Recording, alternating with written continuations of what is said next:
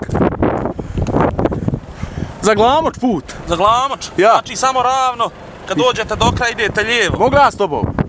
Dokle? Do glamoča. A ja za Frankfurt ode. Aha, ajde meni u Splitu stani. Ajde. You all I see. I'm safe here in my room. Unless I try to start again. I don't want to be the one the battles always choose. Cause inside I realize I'm the one confused. I don't know what's worth fighting for or why I have to scream. I don't know why I instigate, say what I don't mean. I don't know how I got this way. I know it's not alright, so I'm breaking up tonight.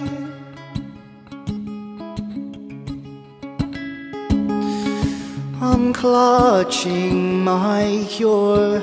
I tightly lock the door. I try to catch my breath again. I hurt much more than any time before. I had no options left again. I don't want to be the one the battles always choose. Inside I realize I'm the hopes for you niggas, we gon' see.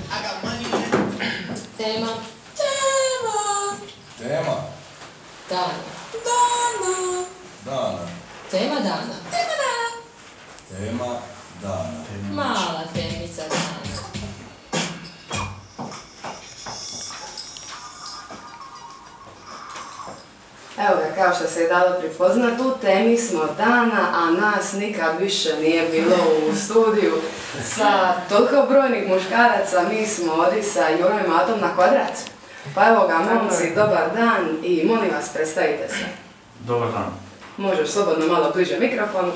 E, Mamuza Luka, igram lika Matu iz serije Jure i Mate. Ja sam Ivan Šlagon, studiram glazbenu pedagogiju tu u Splitu i ja sam Jure.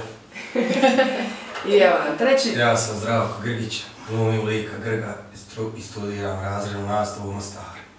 Eto ga, svi iz Mostara, evo neka nam samo, ti si propustio priliku reći šta E, studiraš. Odnos s javnošću Mostar. Eto ga, Nice, nice. sve nas s nama je iz Mostara. s nama je ovdje i vaš službeni kamerman, tako, i Da, fotograf. Leonardo Ivković. Leonardo, Leonardo. Mena snima sve pomno. A još je s nama u režiji, kao što smo rekli na početku, Josip Vuf koji nama snima za Radio Campus. Pa evo ga, momci, dobar dan. Dobar, dobar dan. Hvala vam puno što ste našli vremena za nas. E, mi, evo, ja bih prepustila Sari neka krene s početkom i pojim uvodom. Ja sam ovaj, danas na početku emisije morala kratko najaviti ko ste vi, Jure i Mate, a, a iza tog imena se krije evo vas četvero, možemo reći. Nijedan ni Jure niti Mate. Tako je. Ovaj, pa sam kratko rekla da vi zapravo snimate humoristične videe u kojima prikazujete zapravo realnost. Jel se to može tako reći? Da, može, Kako ste tako je. uopće došli vi na ideju snimanja tih videa? E, čija je to ideja bila uopće da se zovete Jure i Mate? Znači, to je počelo već skoro dvije godine ima kako smo počeli. Zapravo već ima dvije godine kako smo počeli snimati, a još mjesec i pol dana pa će biti dvije godine od prvog videa. Znači, prošlo je već dosta vremena, a počeli smo, pa onako više iz dosade je to bilo, pošto bi se sastajali subotu, kako dođe s- ja iz, ja iz Splita, oni iz Mostara. I onda subotom je ono mamuranje, dosadno, ne znamo šta ćemo, Luka ima opremu, objavili na YouTube-u i osmislili cijeli taj serijal. Osmislili likove Jure i Mate. A ime je nastalo isto ono, kad smo ja i Luka tek počeli snimat, prvi zaključak je bio pa dobro ako ćemo objaviti ne možemo se zvati Ivan i Luka, to je glupo. Znači smo smislili da prva dva imena koja je spala na pamet, ono ovdje su baš česta imena Jure i Mate i dobro. Kada nisu uvijek Ivan i Ante, ono najčešće jeli, pa ajde. Nek se... I, a i na, ovaj, e, na odlučnosti da tako, a evo, pa dobro, sve kamere snimaju, vidite kolika je ljubav ovdje u eteru. E, evo, šta ima imate još reći? Spomenuli ste, evo ja bi se nadovezala, e, da imate svoj YouTube kanal na kojem vas prati nekih 15.000 ljudi, što je jako, jako pozamašan broj. A i vaš najgledaniji video ima oko nekih 400 tisuća pogleda, da? Da.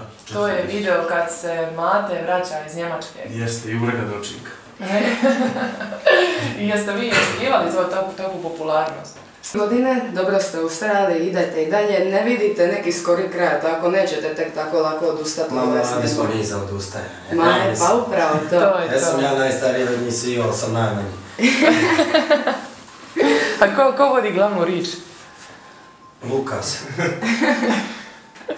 Ovi, mene sad zanima, e, videa šta snimate, snimate ga kod sebe doma?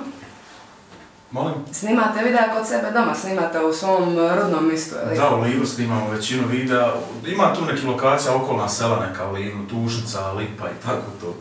Jeste ih učinili poznatim ovim? Ma nakon, nije baš to. Ovo neke teme koje su aktualne u, kod nas i u Hrvatskoj, ovdje kod vas isto. Tako da ono, nastavimo zabaviti ljude kako imaju svi tako neke privatne probleme. Onaj, kad gledaju našu epizodu, nastavimo da zaborave na to, dakle, da, da se Da vide da može i gore. Da, može. da uvijek može i gore, može i popaditi svega ovoga što imamo. Ovi, momci, evo ga, vratili smo se mi nazad sa našim brojnim gostima. Željni su priče, tako da evo momci, nastavljamo mi i dalje s našom pričom. Sad ste nam u pardon, pauzi rekli da ste sinoć došli iz Mostara, to je danas, je li? Da. Samo zbog ovoga. Krenuli smo sinoć oko 6 iz Mostara da bi stigli, trebalo smo negdje u Livnu biti oko 8, 8 i pol najkasnije. Pa leto, međutim, snijegi, kako mi kažemo, mećava, jel?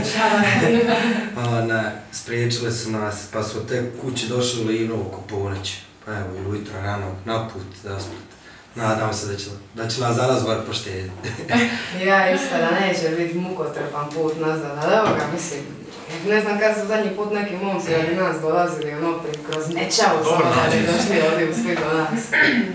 Svakako vam hvala na ovo. A evo recite nam, kad ste tako vi raštrikani, e, ne u dva grada, nego u dvije države, kako vi e, uspijete sve te svoje obaveze e, uskladiti, uspijete tako snimati te videe, da ne govorim kad imate ili u Njemačku, pa se vrati, kako vi to sve izdogovorite? Koji je glavni? A teško mora se priznat, bar u zadnje vrijeme. Malo je teško, ovaj, teško se, onaj, teško se skupit, jer oni su u Mostaru, ja u Splitu, onda fakultet, obaveze, svi znamo kako je to, ne možeš uvijek nešto dogoditi. Prije je to bilo lakše u prvih epizodama, svaki vikend smo snimali, svaki tjedan smo izbacivali po jednu epizodu, ali onda malo faksa onaj patio, možemo reći. Ali eto, trudimo se izbaciti, ne znam, možda mjesečno jednu, dvije epizode. No dobro, pr- prije, prije su onaj, prije su epizode bile dosta jednostavnije za snimiti, onaj. Imali smo, sve su to statični kadrovi bili, dakle, Da, stavimo da, da. kameru na stalak i to je to. A sad snimamo epizode više, onaj, čak, sad čak i dron koristimo i ne znam, sve što imamo u produkciji, ono, tako da... Je, prvo što se treba primijetiti samo kad se vidi klip prije nego što se uopće pokrene da imate dobru produkciju, uvijek se vidi odmah. Da, to je produkcija Foto Marbe iz Livna, onaj, trudimo se s tim, to nam je bitno, dakle, s te neke tehničke strane da, da bude sve u redu, da budemo najbolji. Ja, znate šta, možda vam je bolje tako ovaj, izbaciti video da valja bez veze. Dobro, imamo li video na YouTube, onaki možemo u jednom danu deset izbaciti, ali to nam nije cilj baš. E, ne, to, Tako to da, se ono. vidi ta vaša profesionalnost kako napredujete iz videa u video. Znaš se da dobijete čak ono ko što je News Bar, dobija, dobijete svoj neki kanal gdje će vas se puštati na nacionalnoj televiziji. Biće neka pomoć. Biće, biće pomalo, Se pomalo. A recite mi, ovaj, odakle vam ideje za tekstove, ko piše tekstove? Pa ideje za tekst većinom dođu iz... Iz života. Iz, jeste, iz, iz života, iz onaj, privatnih ti nekih stvari. Mada onaj, kad bi baš sve, sve iz života snimali, bilo bi tu svega, ali dobro. onaj, sve to neke stvari koje se dešavaju kod nas u Livnu, u, Bosni, u Hercegovini, nebitno. Prodavanje auta, dolazak iz. Njemačke, odlazak, tako to. Tako da ono, mislim da nađe se tu uvijek nešto. Bar je posta. A recite mi, koji vam je vaš video najdraži? Koji tebe je Svako Pa ne znam. Svaki, svaki video ima neki svoj čar, znaš, nešto.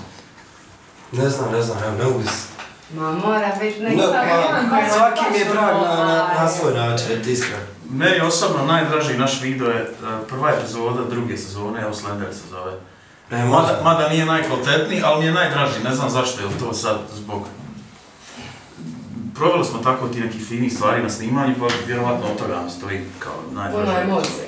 Da, tako nešto. E, to sam vam još htjela upitati, ovaj, što vam je najbolji dio od svega? Je li sama priprema videa, ono, i failovi, i smijeh, i sve što prođete, evo, motiraju da i pivo, ovaj, ili vam je najbolje od svega ta reakcija publike koja je uglavnom pozitivna, mislim, to govore same brojke na YouTube-u, šta vam od toga svega čini najveće zadovoljstvo? Pa ne znam, ja mislim da sve to skupa čini neku, neku stvar koja nam daje to neko zadovoljstvo. Sad na snimanju bude nekad smiješno, baš nekad dobro malo i zacugao, nebitno. Onaj, a nekad dosadi, znaš, ti sad ponavljaš scenu 10 puta, ok, smišno, 11 već nije, već je dosadno. Da, to je još rekao na početku da ste prvo sebi bili interesantni. Jeste, to ima neko, da.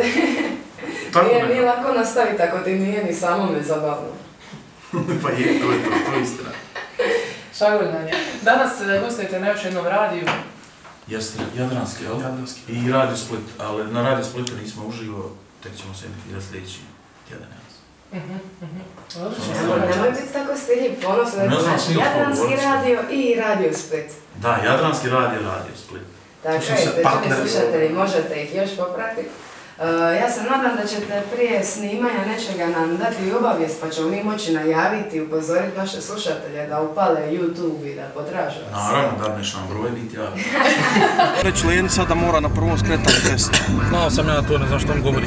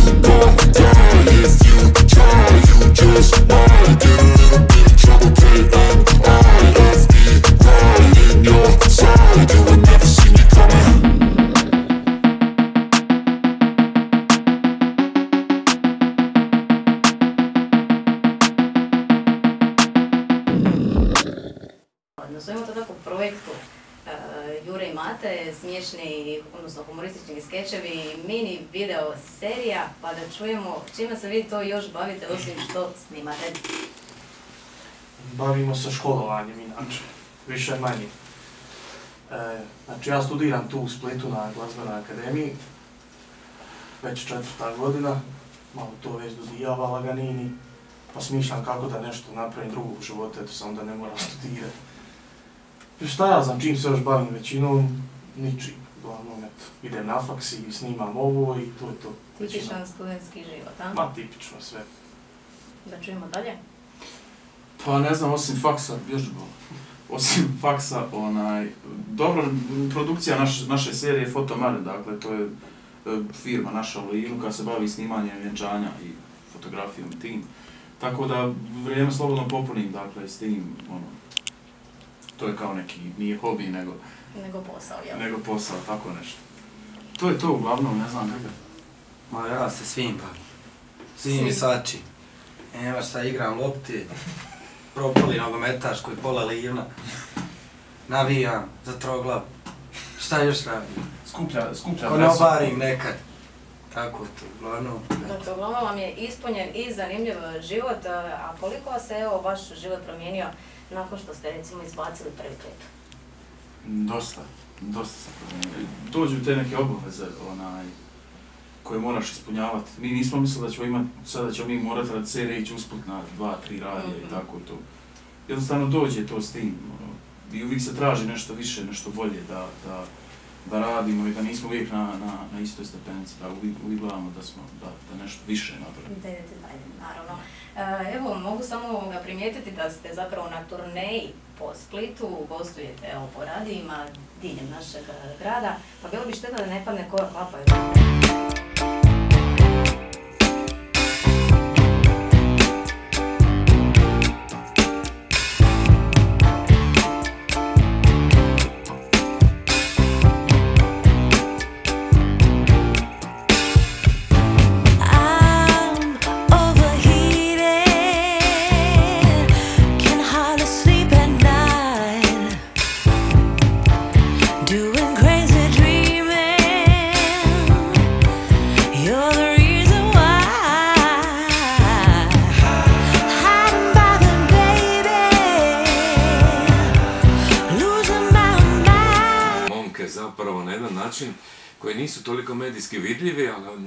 Produkcija, intelekt i naum zasigurno je putem YouTube kanala već je posljednje vrijeme jako vidljiva, čitljiva.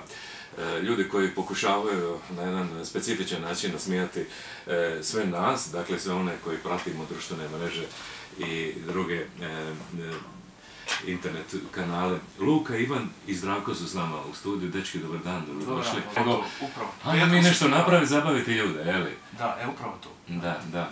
E, Ivane, e, zašto Jure i Mate? To su ta dva vokala koje vi glumite zapravo unutra, da pojasnimo ljudima, nalazite zanimljive video uradke i radite simultano sinhroniziranje na, na, na jedan zanimljiv, rekao bih, poetski pa i satirički način. Ja, tako Jure i Mate sve to, kao što je Luka rekao, nastalo tako nekako iz razumljenja, iz, iz dosade. For my battle